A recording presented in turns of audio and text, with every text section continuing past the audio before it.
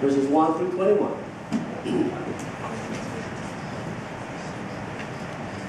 My theme for today is that with God, nothing is impossible.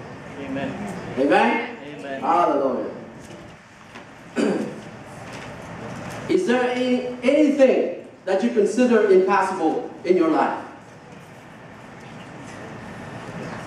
Because impossibility has to do with our perspective about it.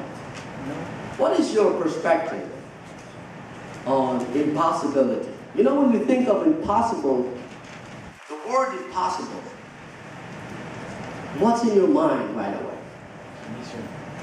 Let me tell you a story about an automobile genius by the name of Henry Ford. Anybody knows him? Yes. Anybody here drives a Ford? I don't. Oh, there you go. We have some. And most of the what Japanese cars? Okay. Well, Henry Ford, he gathered all his engineers and he said, you know what? I have an idea. We are going to do a project. We are going to build an engine that is called V8. Okay, so Mr. Henry Ford was so excited about this project that they're going to embark. But you know what? The engineers didn't like it. Why? Why do you think they didn't like it? Because they said in their minds, this is outrageous. This can't be done. This is impossible, Mr. Henry. Now, do you have things that you call impossible? Do you have a circumstances right now that you consider impossible? Let me tell you this. In human perspective, we are so limited that we cannot see the whole thing. We cannot see the whole picture. Amen? Let's look at uh, Webster uh, definition of the word impossible. Oh, is that? Oh, okay. Well, let me define that to you then. Oh, he's working on it. Okay, word impossible, as Webster defines it, it is an incapable of being or incapable of occurring. The other meaning is it is insuperably difficult. And the other synonym of this word is hopeless. Can't be done. Won't work. Do we have that kind of view as well? Sometimes with our overwhelming circumstances. Amen? Do we have that sometimes? Okay, let's look at the divine perspective. Let me tell you this. In God's vocabulary, this, is, this word doesn't exist. Can you say amen? Amen. There's no such word in God's vocabulary, the word impossible. Amen. Because with God, Nothing is impossible. nothing is impossible. Amen. Jeremiah 32 verse 17 says, Ah Lord God, thou hast made the heavens and the earth by thy great power and an outstretched arm. Nothing is too difficult for you. How's that sound? And then later on in that chapter, in chapter 32, verse 27, God confirmed the words of Jeremiah and he said, I am the Lord, the God of all flesh. There is nothing difficult for me to do. Amen. Okay, let's look at the New Testament about this perspective of impossibility. In Luke chapter 1, verse 37, we can see Mary here was visited by an angel. And the angel told her that, hey, with God, nothing is impossible. Why do you think the angel didn't say that? Because she's going to have a baby. But she doesn't have any boyfriend. How can that be? Think about that. Impossible. The other thing is, her cousin Elizabeth is barren, but she's going to have a baby too. And that's, that baby is what? John the Baptist. Think about that. And the angel says, For God, nothing is impossible. Let's look at what Jesus says about impossibility. In Luke 18, chapter 27. Now, the scene here, we can see that the rich young ruler asked Jesus what he needs to do in order to inherit the kingdom of God. What does he need to do in order to enter the kingdom of heaven? Well, you know, Jesus told him about what says in the law or what says in the scriptures. And what did he say? Oh, I did that since I was born. I did all that. Okay. Then Jesus said, okay, why don't we do this? Why don't you give all your possessions to the poor and come follow me? What happened to the rich young ruler? He didn't Walked away. he went away. Why? And Jesus said to the crowd, It is easier for a camel to go through the eye of a needle than for a rich man to enter the kingdom of heaven. So then the crowd asked him, Who then can be saved? This guy followed the law He's rich, you know, for them, if you are rich, you are blessed by God. That's their mentality. So if this guy cannot be saved, how much more the poor? No. They cannot buy their way into heaven, right? But Jesus said, with God, nothing is impossible. Amen? And this is Jesus saying here. Now let's look at a biblical example here. Okay? We're going to look at John chapter 6. You to look at your Bible with me, okay, so you can follow me. let's look at verses 1 through 4. After this, Jesus crossed the Sea of Galilee, for, or Tiberias. And a huge crowd was following him because they saw the signs that he was performing on the sick. So Jesus went up the mountain and sat down there with his disciples. Now the Passover, a Jewish festival, was near. Okay, and you see the scene. You know, if you're watching a movie, look at the scene here. Passover is at hand, so people are gathered for this feast. There's a lot of people in there. It's a large crowd. And what are this crowd doing there? They want to see Jesus. Because Jesus was performing miracles. Now, this miracle of five loaves and two fish, this is the fourth miracle that he did already. Okay? So the first one was Turning water into wine. there you go, turning water into wine. And you know, Jesus is not ready to do that. But his mother was so persistent that he has to do it. because Jesus said, you know what? This is not my time yet to show off. To show who he is. Amen? Okay. So we see the scene. Now, let's look at the setting here. Because here, if you look at the disciples' perspective on this huge crowd that they see, it's overwhelming. And these people are trying to get to know Jesus. They want to see Jesus. So maybe you will see the exhaustion here of the disciples trying to stop these people.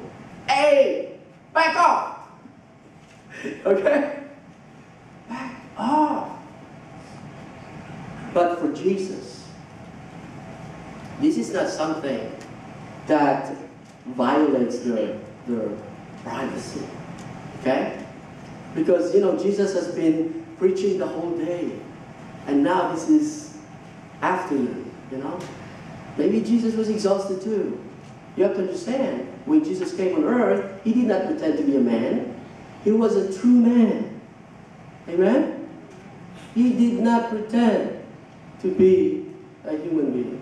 He was a real one. Amen? Okay. So you will see the uh, dilemma of these disciples. But for Jesus, oh no. For Jesus, this is an opportunity. Opportunity for what? This is his opportunity to show his glory and what he can do, his power. And not only that, the purpose of this opportunity is to strengthen his disciples' faith. Okay? Are you following me? Amen. Okay. You know, sometimes great opportunities often disguised as impossibility or unsolvable problems.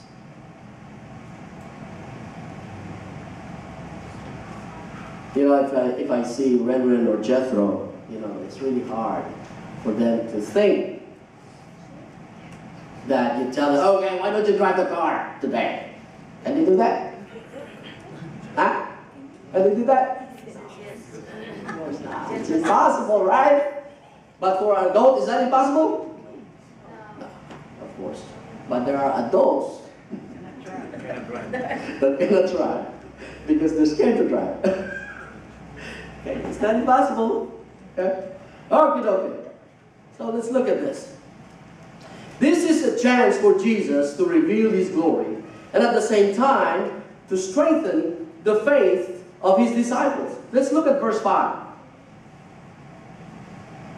Therefore, when Jesus looked up and noticed a huge crowd coming toward him, he asked Philip. Philip. Ah, okay. Now,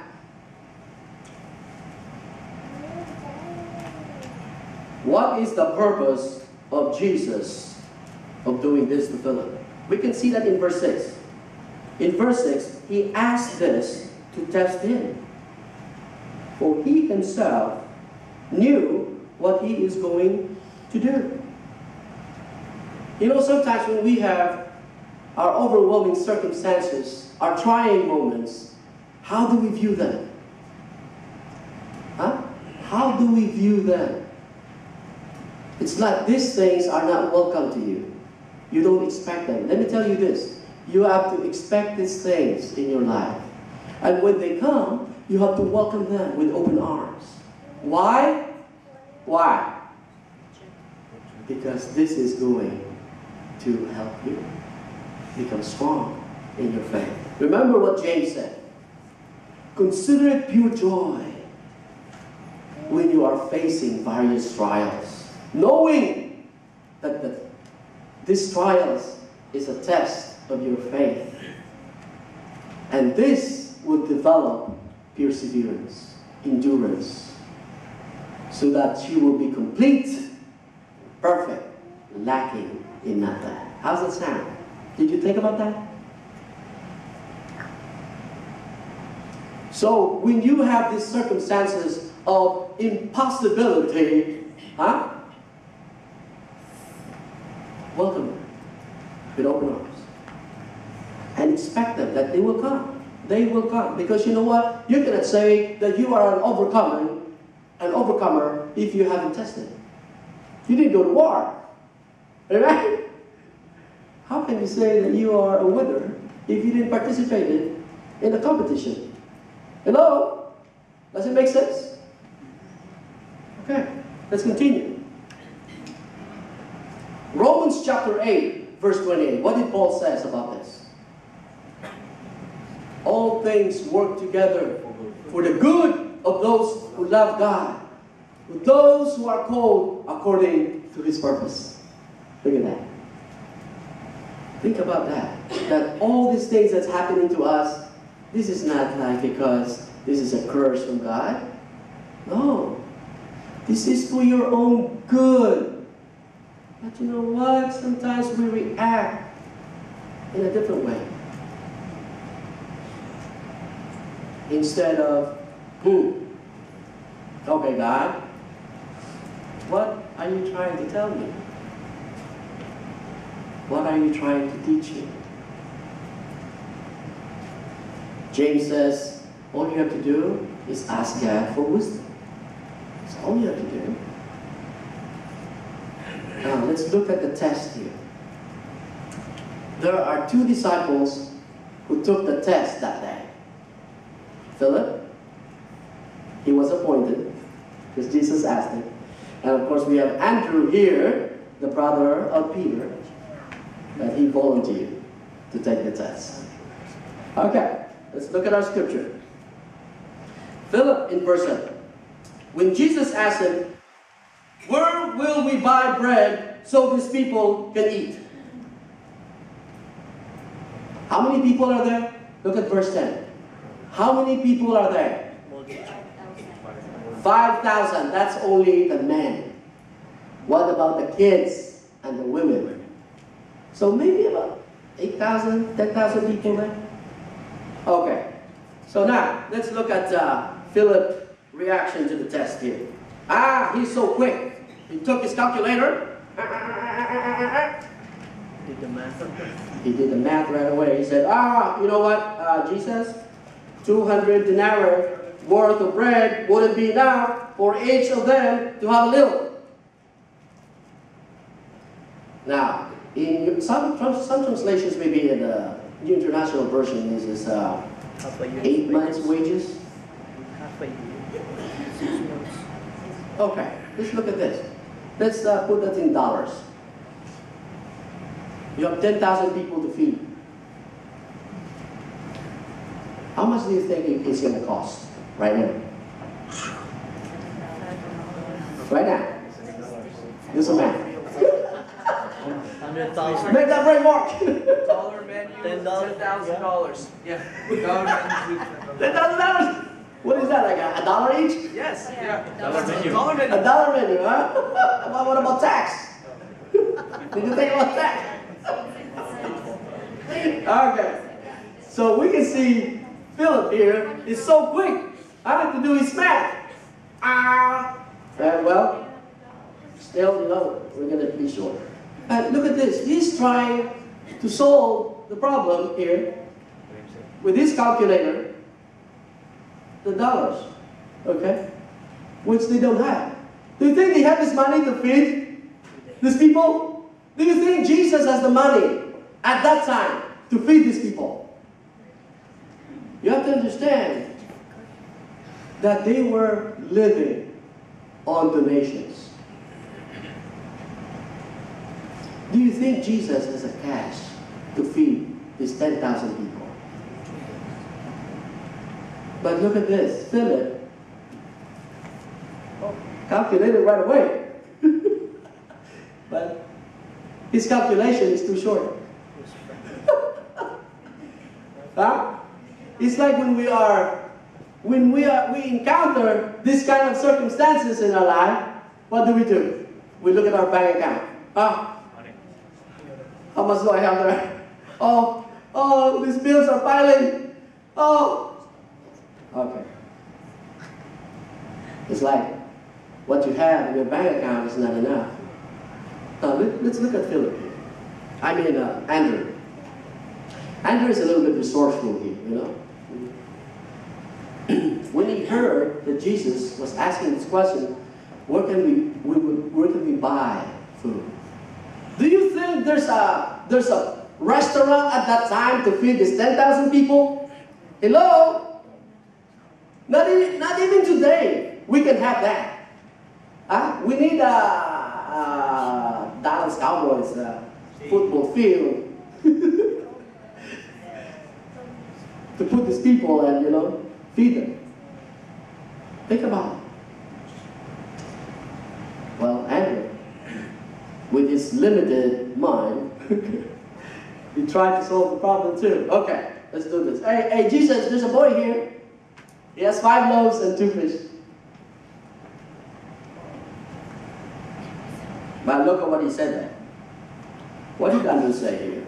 One of his disciples, Andrew, Simon's, Simon Peter's brother, said to him, There's a boy here who has five barley loaves and two fish. But what are they for so many people? See that? He tried to be resourceful, but can you feed 10,000 people with five loaves of bread and two fish? Huh? Hello? Still. You see this? If you look at this test that they did, you know, that they took this test, they failed. You know why they failed? Had they seen Jesus turn water into wine already, right? Remember, this is the fourth miracle that Jesus performed. And his disciples were with him the whole time. The whole time they were with Jesus. But still, look at the way they reacted to this impossibility.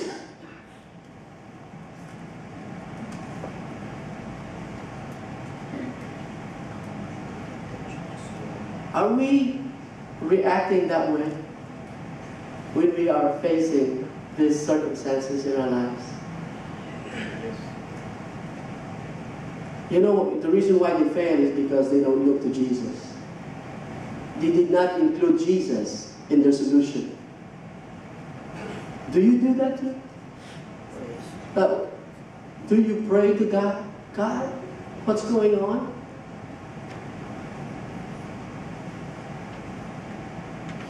Amen. There's nothing impossible with God. So let's look at the responses here. Look at Jesus' response to this impossibility. Okay. Let's go to verse 10 through 13. Then Jesus said, Have the people sit down. There was plenty of grass in that place. So they sat down. The men numbered about 5,000. Then Jesus took the loaves, and after giving thanks, he distributed them to those who were seated.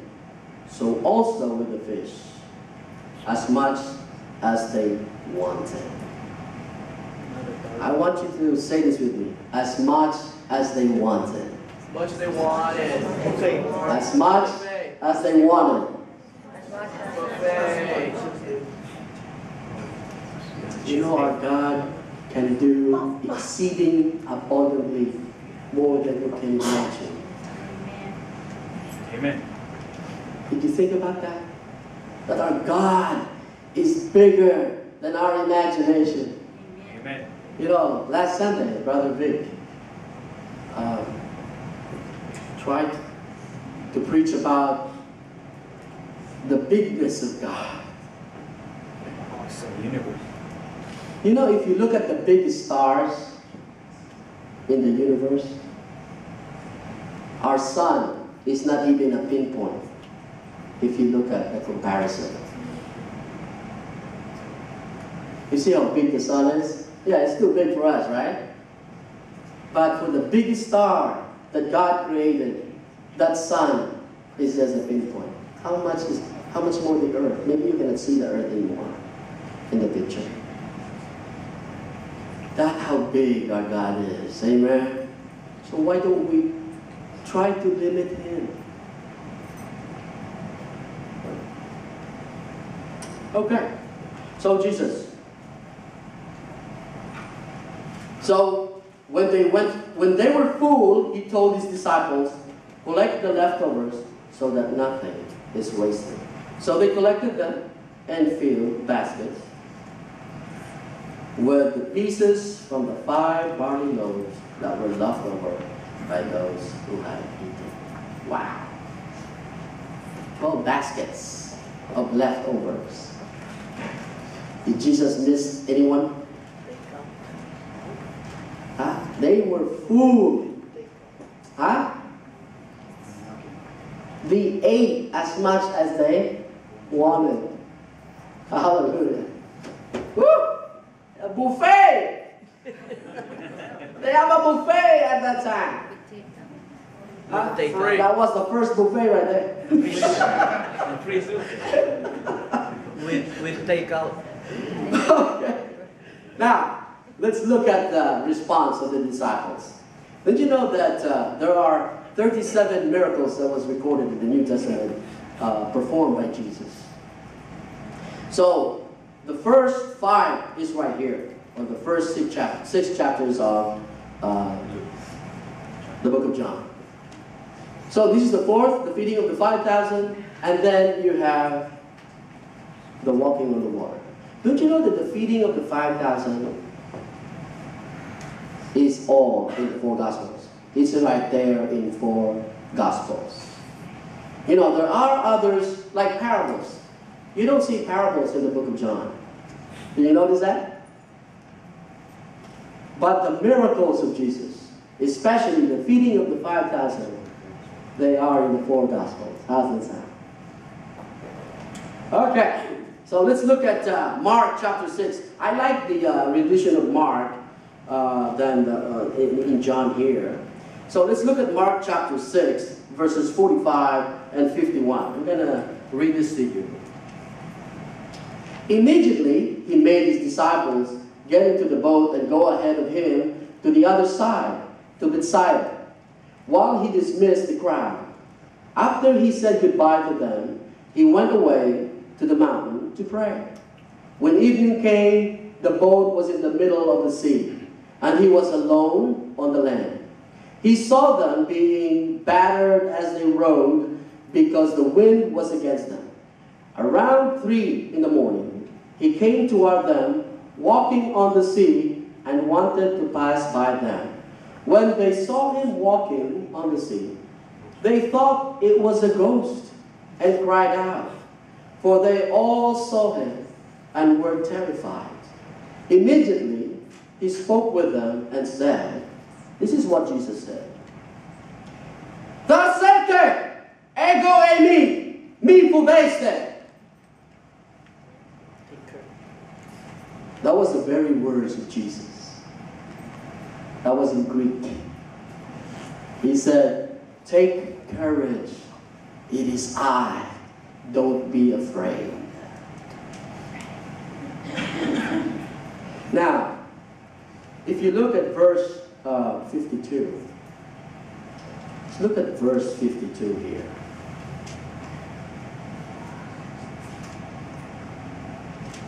Because they had not understood about the loaves, instead their hearts were hardened. Now, they already saw four miracles performed by Jesus. Now, when they saw Jesus walking in the water, they still doubted.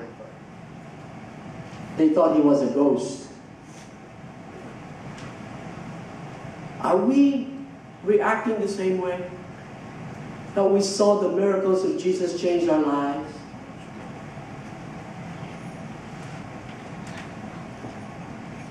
Huh? Are, are we still like that? That when we are faced with this impossibility, we doubt God. It's like, hmm, God cannot do this. I don't think God will be able to solve this. Do you think about that now? They just saw Jesus perform the feeding of the 5,000. All of a sudden, they, doubt, they doubted him again. That's the reason why Jesus has to continue to test their faith. You remember the tempest. When Jesus was with them in the boat, and Jesus was sleeping there, huh? and there was a tempest.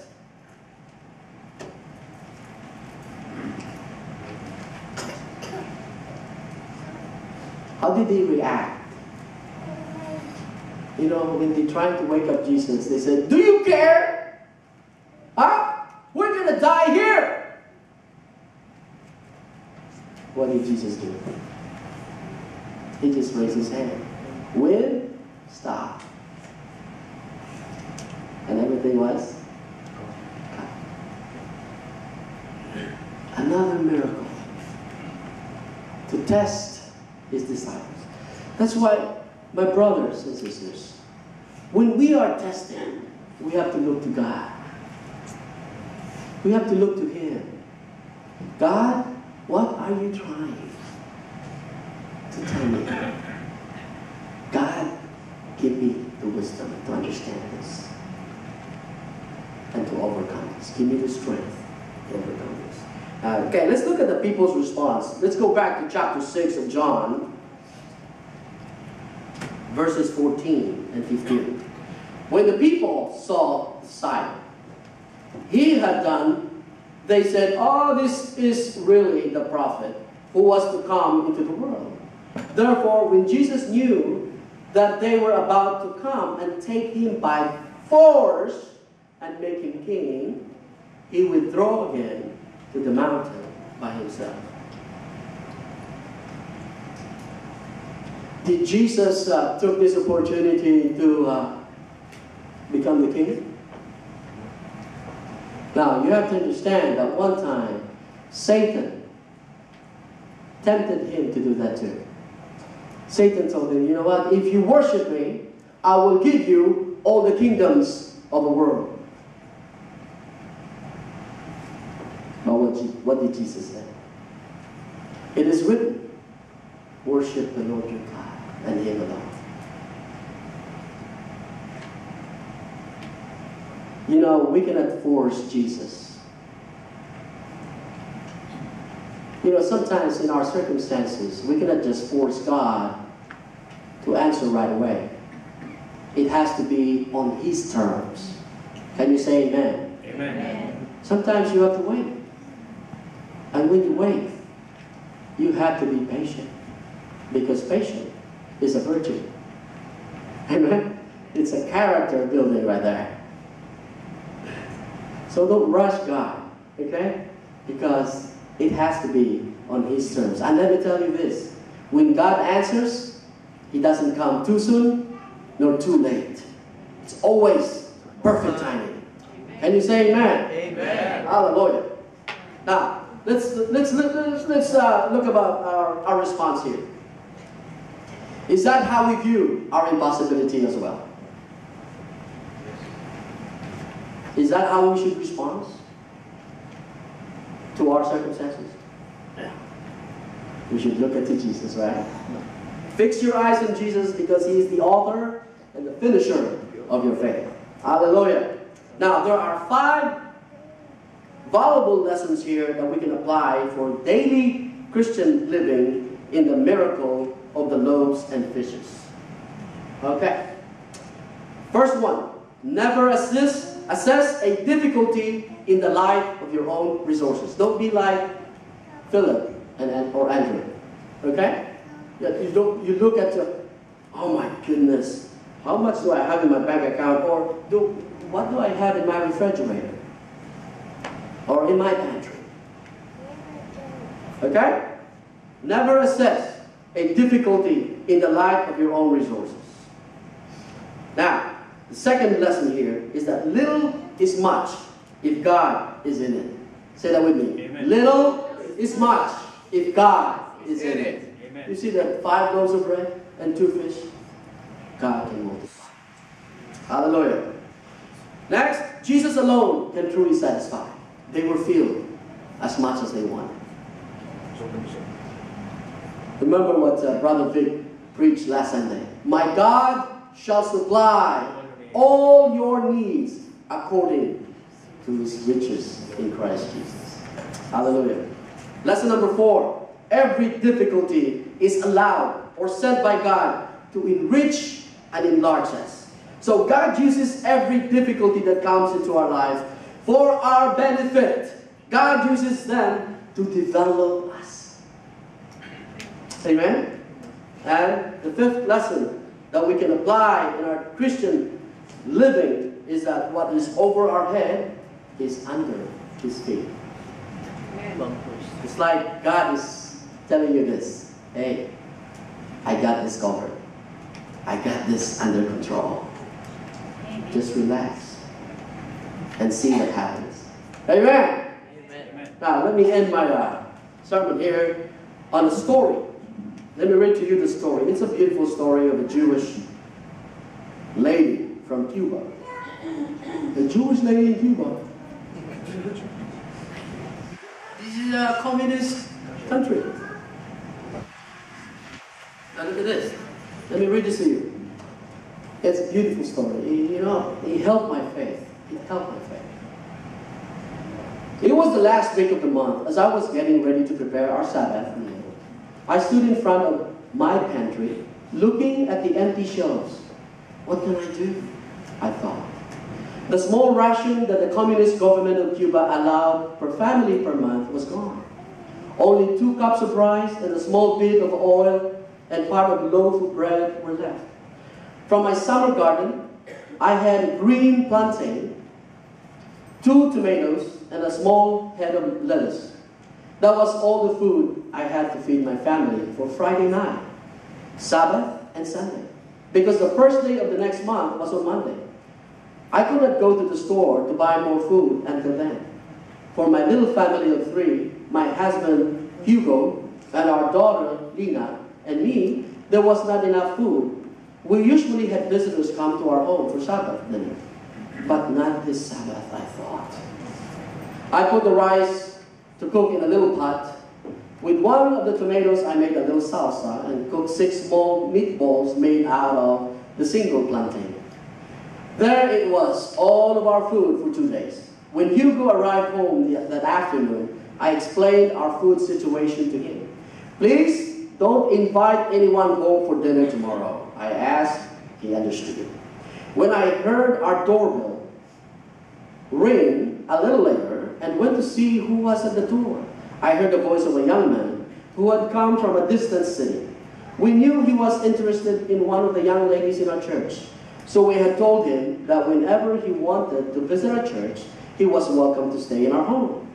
But why today? I thought. The fact was, though, that he was there, and I knew that we would have to share what little food we had with him. While the young man took a shower, I quickly prepared a glass of water with sugar and a slice of bread for each member of my family. That was our supper. When our visitor came out of the bathroom, I served him a little rice, two of the plantain balls, and one leaf of lettuce made into a salad. We have already had our supper because we have to go to the church for the meeting. I explained to him. When we arrived at the church that evening, I learned that the girl our friend had come to visit was out of town. Oh no, I thought. Now we will have to feed him lunch tomorrow. My husband gave me the solution the next morning. Let's tell him that we are fasting today, so you can then give the food to him and Lina. I agree. While sitting in church that Sabbath morning, I noticed a man from a neighboring church attending with his young son. He had to bring his older son to a nearby hospital and had decided to stay at our church for the church service. My thought was, two more for lunch today. Later in the morning, Hugo whispered to me, there is a couple visiting from Havana. When I was in the seminary, I was assigned to the church where they are members. Many times they had me to their house for Sabbath dinner. We have to take them home. My immediate reaction was desperation. But in a flash, Bible stories passed through my mind. The manna in the wilderness, the oil and the flour of the widow, the little boy's lunch that the Lord used to feed 5,000. Jesus Christ is the same yesterday and today and forever, I remembered. Trusting only the Lord, my provider, I answered my husband with a confident, Sure, invite them home. The Lord will provide. When we arrived home after, after church, the visiting lady graciously offered her help in the kitchen. You're on vacation, I said. It's time for you to rest. I will take care of everything in no time. Going into my kitchen, I knelt in front of the stove, on which sat those two little pots with almost no food in them. I told my Lord and provider, Lord, here are my fishes and my loaves. It is all I have. You have asked me to feed these people, and you asked your disciples to do that day Lord. I give you what I have, you do the rest. While the rice and the plantain bowls were warming in the stove, I took the small head of lettuce and a tomato which I had saved for the salad. Walking over to my china cabinet, I reached in to take out a small salad bowl. But it was as if the Lord was talking to me. Where is your faith? Haven't you asked me to multiply your food? You need a larger bowl, enough for all the people, and some left over. Forgive me, Lord, I said, taking out the largest salad bowl I had. As I took off these uh, leaves of lettuce, washed them, and cut them into my salad bowl, I did not see the leaves multiplying. But it seemed that the head of lettuce was always the same size, and more and more leaves were coming off it. When I finally got to the last leaf, the bowl was completely full. Then I began to cut the tomato, and it remained the same size until I had enough to combine with the lettuce into a nice tossed salad. The same thing happened with a small piece of bread. Always I was able to cut another slice until I had filled a basket. By now my faith was very strong. So I took out a big serving dish for the rice. I had to laugh when I saw that big dish beside the small pot, but I know what the Lord was doing. I began scooping the rice into the serving dish, and always the same amount was left on the pot until the dish was completely full. And there was still the same amount of rice left in the pot. Lord, I said, you are providing not only for these people today, but you are providing also for us tomorrow, aren't you? I could imagine a smile on his lovely face while he was nodding at me. Then came the plantain bowls. When I turned on the stove to warm the food, I saw that there were only four plantain bowls left. Now, I had a big bowl in my hand, and I smiled. In spite of myself, when I took the pot lid off, the pot was full of plantain bowls. I filled the big bowl full, and there were still enough balls left in the pot for the next day. When I was ready, I went into the living room. To my husband, I said, Honey, I know you were planning to fast today. But since we have this beloved brethren with us, why don't you join us for dinner? You can fast at any, uh, uh, other time if you want. You go look at me as if you, to say, Are you out of your mind?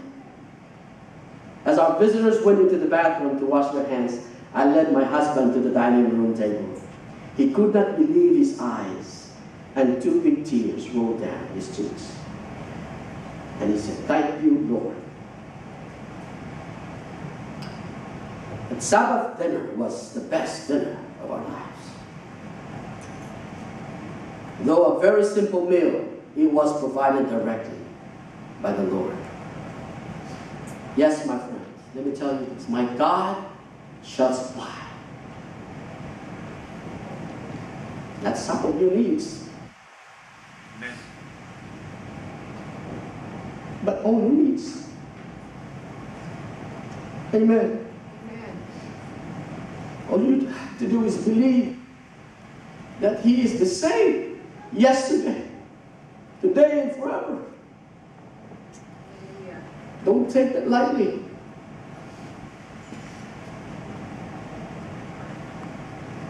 All you have to do is trust God that nothing is impossible with Him. Amen. Thank you, Lord, that you really care for us. Because even David said, What is man that you are mindful of him? What is man that you really care for him? Even Peter says, Cast all your cares on him, for he cares for you. Lord, thank you that you really care for us and that you are going to provide for our daily needs. And even, Lord, in our overwhelming situation, you are there. Not to demean us or to punish us, Yes, but Lord, to strengthen our faith in you, to develop us and build our character. So, Father, help us. That sometimes, Lord, in our overwhelming circumstances, we easily doubt you. Father, remind us that in our little with you, it can be a lot. Thank you, Lord, for today, for the words that you have reminded us that you care for us and that nothing is impossible for you to do. Thank you in Jesus' name. Amen. Amen. Amen. Amen.